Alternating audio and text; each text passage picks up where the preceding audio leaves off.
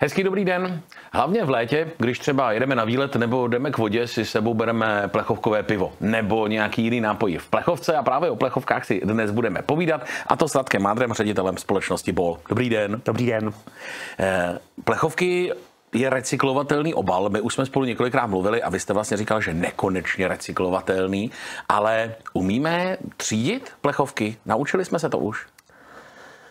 Jsme se, ještě, ještě jsme se to úplně nenaučili. Jako, sice třídíme, jako třídíme výborně, třídíme sklo, plasty, papír, jako, ale ty plechovky samozřejmě nejsou na takový úrovni jako ty ostatní obalové materiály, i když samozřejmě za posledních několik eh, málo let eh, se zvýšil počet kontejnerů právě hmm. na, právě na, na kovy a, a plechovky. Eh, a dneska ta, dneska ta vytříděnost plechovek se pohybuje něko okolo 30%, což je, což je málo vůči třeba celosvětovému průměru. Myslíte, že pomůže to, o čem se teď stále častěji mluví, že by petlahve a právě plechovky mohly být zálohované a vraceli bychom je někam do obchodu? Já jsem přesvědčen, že ano. Uh, ono to je to velké téma posledních několik málo měsíců a já jsem přesvědčen, že, uh, že ta legislativní úprava, která je v tom okamžiku uh, na stole schválená bude, a ono vlastně nám ani nic jiného nezbývá, protože jsou určitý, určitý cíle na recyklaci, recyklaci plechovek a plastů, které se budou pohybovat okolo 80-90% a bohužel bez zálového systému nebudeme schopni tyto, tyto cíle dosáhnout. Než se zapnuly kamery, tak jsme si povídali o tom, že vy jste byl na severním konci Evropy a jezdím na ten jižní. Nicméně vozíme si sebou plechovky z Plzně, aby jsme tam byli zásobeni. E, tam se všude vrací. Funguje to tam? Všimste si třeba, že by někde se plechovky povalovaly jinde, než mají? Tak samozřejmě, eh, nebo respektive eh, ta, eh, ta evropská legislativa směřuje k tomu, aby, aby zálohové systémy byly. Většina států v Evropě už zálohové systémy má a nebo se na ně připravuje. Slovensko před dvěma lety nastoupilo, nastoupilo tento trend, připravuje se Rakousko, Irsko, takže těch států je jako valná, valná většina a samozřejmě ten littering nebo respektive ty, ty, ten, ten odpad, který se někde, který se někde leží mimo, mimo ty, mimo mimo ty koše nebo, nebo sběrné nádoby eh, se, se může někde, někde objevit, ale samozřejmě úplně v jiné, v jiné míře než, než ve státech nebo v regionech, kde zálový systém nefunguje. Mm-hmm. Vy když vyrábíte plechovky, vyrábíte je, eh, já jsem to viděl, to je taková obrovská role eh, hliníku, předpokládám, a to už je ten recyklát, nebo to je nějaký původní hliník, který je někde vytvořený právě pro vás? My máme relativně velký cíle do, do budoucna. Chceme, aby, aby až 80%, 80% našich výrobků bylo z recyklátu. Eh, musím říct, že už, už dnes se k tomu velice blížíme, takže eh, většinou, většinou, většinou materiálu, který my v tom okamžiku používáme pro výrobu plechovek, je z recyklátu. Mm-hmm. Poznáte to? Je to nějaký jiný prostroj pro člověka, který s tím pracuje, nebo prostě ten plech vypadá úplně stejně? My to nepoznáme. My to nepoznáme, my samozřejmě máme garanci od našich dodavatelů. Na druhou stranu, vzhledem k tomu, že ten hliník má takové vlastnosti, že je nekonečně recyklovatelný, že se nekonečně může obracet jako v rámci toho procesního, procesní, procesní výroby, tak, tak ty mechanické vlastnosti, který ten vstupní materiál má, jsou pořád stejné. Hmm asi musíme říct pro nezasvěcené diváky, že vy máte dvě firmy teď na obou dvou koncích Plzně, dvě továrny a tam se vyrábí plechovky. Jak třeba velký objem to je? Kolik vlastně těch plechovek tak jako vyrobíte, abychom si to uměli představit? O jakých číslech mluvíme? My máme jednu společnost a tam má dva, dvě, dvě továrny, tady tak, jednu, jednu, jednu, v, jednu v Díšné a jednu, jednu v Plzni. Já musím říct, že v Díšně je už vyrábíme 25 let, takže ta historie je relativně hodně velká a hodně plechovek se tam vyrobilo. V Plzni máme úplně nový závod, který byl otevřen otevřen, otevřen minulý rok a skutečně je to ať už je to 25 let stará továrna nebo rok stará továrna, tak ty technologie jsou skutečně, skutečně extrémně sofistikované a moderní a na tu vaši otázku, kolik objemově, eh, objemově. Dneska, dneska se blížíme, blížíme eh, k tomu našemu cíli a je to, blížíme se k dvouciferné čísle, dvouciferné čísle za den v milionech. Aha. Za obě dvě továrny, za obě dvě továrny, takže eh, cca 10 milionů denně. Hmm. E, naučili jsme se, e, trvalo nám to asi naučit se pít z plechovek, protože to tady historicky u nás nebylo. My, když pijeme pivo, tak jsme byli zvyklí pít lahvové nebo čepované. E, teď si stále asi častěji, co si tak jako všímám mezi lidma, co mají v nákupních košicích, kupujeme to plechovkové. Vnímáte to taky, že je větší poptávka právě tady třeba od domácích pivovarů?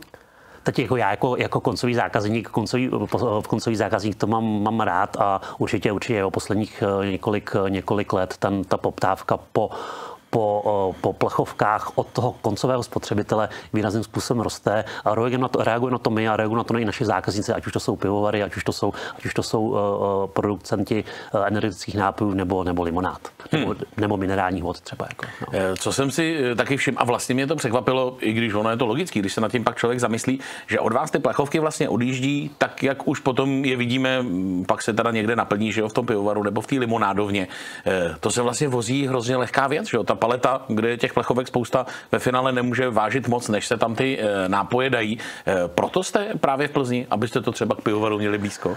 Uh, my, ten, my, my obsluhujeme region zhruba do perimetru tisíc kilometrů, takže mm-hmm. není to jenom Česká republika, ale samozřejmě to, je, to, je to i export a my samozřejmě se snažíme, aby jsme, aby jsme byli, aby jsme byli u toho našeho zákazníka blízko a aby jsme samozřejmě byli ekologičtí a ta doprava byla co, co nejjednodušší a ne, z logistického hlediska co, co nejlepší. Takže, uh, takže ano, ale i to je důvod, uh, proč jsme, proč jsme v Plzni. Jeden důvod byl, že už jsme tady opravdu skutečně 25 let a uh, nějakou historii máme. Uh, ten region je super, výborná spolupráce s městem a s ostatníma organizacemi, které jsou, které jsou, které jsou v regionu a jsou tady šikovní lidi. Jo, jsme, jsme šikovní zápročeši, pořád to ještě platí. Pořád to platí, pořád to platí. Jako. Cítíte se být součástí toho regionu? Jasně, 25 let už je dlouhá doba, ale přece jenom je to firma velká a nadnárodní. Cítíte se být regionální firmou? Eh, my, my jsme součást veliký, velkého mezinárodního koncertu, koncernu, jako nicméně eh, cítíme, cítíme tu vazbu tady k tomu regionu, cítíme vazbu k Plzni nebo k tomu, k tomu blízkému okolí a i ty vztahy budujeme, budujeme tak, aby, aby, byli, aby jsme se chovali jako, jaký, jako, jaký regionální, regionální spolehlivý, spolehlivý partner pro eh, všechny, všechny subjekty a právě ať už to jsou naši zaměstnanci, ať už to jsou, ať už to je, ať už to je, ať už to je město nebo, nebo, nebo, nebo dejme tomu obce, které jsou v naší blízkosti blízkosti. Hmm. Já si tak jako občas, eh, tím, že jsem věděl, že spolu budeme mluvit, tak jsem si eh, všimnul občas nějakého vašeho loga. Hmm. Jste třeba partnery nějakých koncertů a podobně. Sponzorujete třeba i nějaké sportovce a podobně, abyste právě ukázali to své jméno, tu svoji značku? My, my nesponzorujeme, nicméně podporujeme, podporujeme určitý, hmm. určitý aktivity. Samozřejmě se to směřuje právě na ekologické aktivity, směřuje se to na, na rozvoj, rozvoj, eh, dejme tomu, kultury nebo kultury nebo sportu. Eh, spolupracujeme třeba s lokálními, s lokálními sportovními, sportovními kluby, kde naši zaměstnanci nějakým způsobem působí, hmm. aby to bylo ještě, aby jsme měli ještě tu vazbu na, tu, na, tu, na, ten, na, ty, na, ty naše, na ty naše kolegy, na ty naše kolegy a eh, podporujeme spíše takový ty eh, kolektivní mládežnický, mládežnický záležitosti, které můžou podpořit eh, ty naše, ty naše cíle. Mm-hmm. Já když jsem se byl podívat u vás ve firmě, to je vlastně jeden velký stroj, jeden velký automat. Nepřijde mi, že by tam až tak byla důležitá ta šikovná lidská ruka, protože mi přišlo, že to celý jede samo. Ale vždycky to na lidech začíná a končí. Jak jste na tom s lidma? Uh, tak uh Pořád ještě, pořád ještě hledáme. Musím se přiznat, že, hmm. že za, posledních, za poslední dva roky, dva roky jsme, jsme, uh, jsme zaměstnali zhruba nových 250, 250 nových kolegů. Taky máte novou továrnu. Máme novou továrnu, máme novou továrnu. Uh, musím se přiznat, že neustále hledáme, neustále, neustále chceme, chceme s těmi našimi lidma, lidma pracovat a ať už je to ta lokalita v, v Díšině, ať už je to lokalita, lokalita v Plzni, tak zhruba 10, pro, 10 až 15 pozic pro každou továrnu, každou továrnu ještě v tom okamžiku hledáme. Hmm.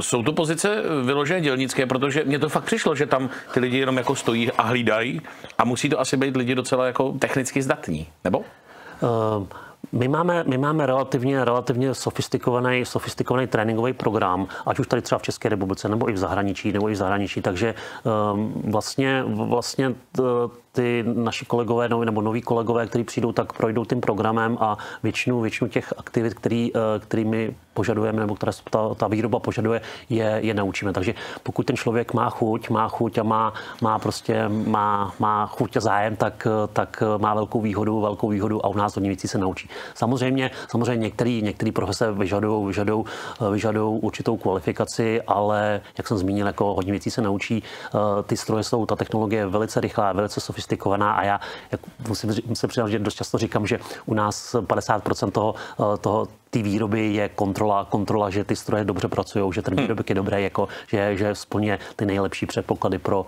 pro jeho prodej. Takže je to čistá ruka.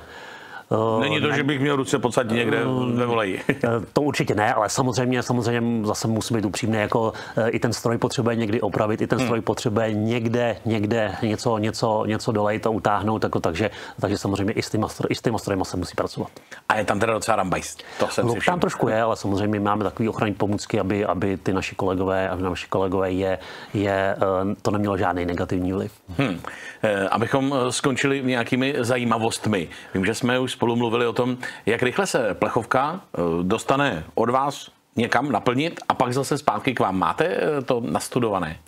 Máme to spočítaný, dělali jsme, dělali jsme si samozřejmě nějakou, nebo děláme si, děláme si nějaký, nějaký cyklus, cyklus té naší, tý naší výroby od eh, vstupního materiálu pro, pro na výrobu, naplnění, prodej, uh, zpátky. Takže samozřejmě v případě, že všechno funguje úplně, úplně perfektně, uh, bez nějakých komplikací, tak během 60 dnů se ta, plocho, se ta, se ta, ta plochovka může, může, může vyrobit, vyrobit znovu, nebo respektive plochovka, která se u nás vyrobí, se prostřednictvím, prostřednictvím našeho, našeho dodavatele zpátky vrátí jako vstupní materiál materiál pro další výrobu. Takže ten, kdo chce žít ekologicky, bez odpadově, což je dnes velký trend, eh, může plechovky brát jako šetrné a ekologické? Určitě, určitě jako plechovka je 100% recyklovatelná a jak jsem zmínil na začátku, všechny veškerý ten materiál, který, eh, který nebo respektive hliník, který, eh, z čehož je ta, ta plechovka vyrobená, se může nekonečně, nekonečně využívat, což bohužel u ostatních, ostatních materiálů takové není. A pokud chce být někdo u toho, má v Plzni u vás pořád ještě šanci. Určitě. Já vám děkuji za návštěvu, přeju krásný a pohodový léto. Krásný den, díky. No a s vámi se budu těšit na viděnou třeba právě někde nad plechovkou, a nebo taky u dalších pořadů naší televize. Tak, ať se vám daří.